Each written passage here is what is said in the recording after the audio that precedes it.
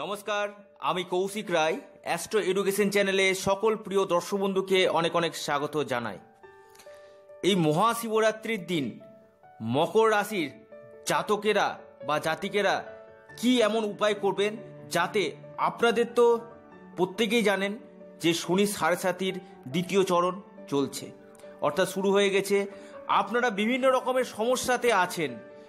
আপনাদের সমস্যা কাটিয়ে উঠতে পারছেন না, বিভিন্ন রকমের প্রবলেমের উপর প্রবলেম তো এই মহাশিবরাত্রিতে আমি যে এই মহা উপায়টির কথা আপনাদেরকে জানাচ্ছি, এই উপায়টি আপনারা করুন এই শিবরাত্রিতে।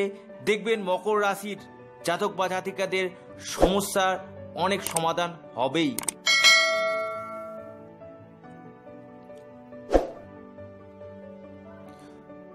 প্রথমেই জানাই মকর রাশির শনির সাড়ে সাতি দ্বিতীয় চরণ শুরু হয়েছে চব্বিশে জানুয়ারি দু হাজার কুড়ি থেকে। শনির সাড়ে সাতির পীড়া মকর রাশির মানুষ হাড়ে হাড়ে বুঝতে পারছে যে কি কি সমস্যা।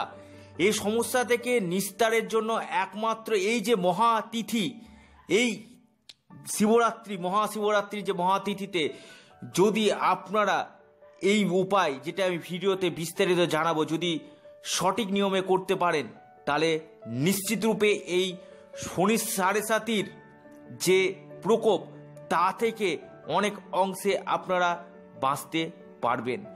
প্রথমেই জানাই আপনাদেরকে, আপনারা এই শিবরাত্রির দিন, মহাশিবরাত্রির দিন কি করবেন? প্রথম কথা, আপনারা শিবের মাথায় জল ঢালার আগে প্রথমে আপনারা স্নান করবেন। যদি সন্ধ্যার সময় আপনারা জল ঢাল- ঢালেন সেক্ষেত্রেও আর একবার আপনারা স্নান অবশ্যই করবেন।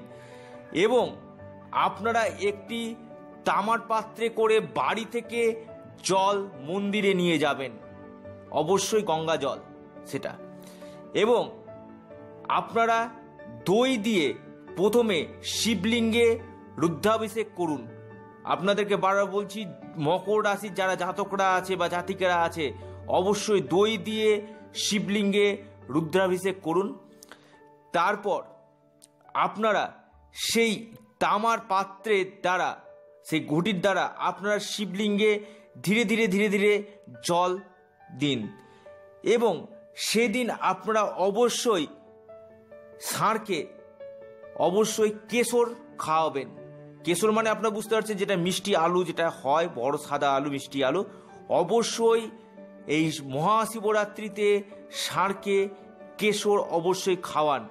দেখবেন আপনাদের যে এই শনি সাড়ে সাতির যে পীড়া, যে সমস্যা চলছে, তা থেকে আপনারা নিশ্চিত রূপে মুক্তি পাবেনই পাবেন। এই দেবাদিদেব মহাদেব একমাত্র আপনাদেরকে এই সাড়ে সাতির যে ফেজ চলছে এখান থেকে একমাত্র দেবাদিদেব মহাদেব আপনাদেরকে বার করে নিয়ে আসতে পারে, অর্থাৎ আপনাদেরকে মুক্তি ঘটাতে পারে। তিনি একমাত্র যিনি আপনাদের জীবনে সুখ, শান্তি, সমৃদ্ধি সব দিক থেকে ভালো করবেই। অবশ্যই মহাশিবরাত্রিতে এই ক্রিয়াটি করুন এবং আপনারা সাত্ত্বিকভাবে থাকুন এবং শ্বেত বস্ত্র পরে অবশ্যই এই ক্রিয়াটি করবেন এবং সেদিন আপনারা যদি পারেন নির্জলা যদি উপাস করতে পারেন, তাহলে এটা খুব ফলপ্রসূ হবে। আমি কৌশিক রায়, দায়িত্ব নিয়ে আপনাদেরকে এই কথাটা জানাচ্ছি। অবশ্যই আপনারা এই মহাশিবরাত্রির দিন এই ক্রিয়াটি করুন। আপনাদের যে রকমের সমস্যা থাক না কেন, সেই সমস্যা থেকে আপনারা মুক্তি পাবেন। তো প্রিয় দর্শক বন্ধু, আজকে সময় শেষ। তো সকলে ভালো থাকুন, সুস্থ থাকুন, সকলের মঙ্গল কামনা করে আজকে আমি আমার প্রোগ্রাম শেষ করছি। নমস্কার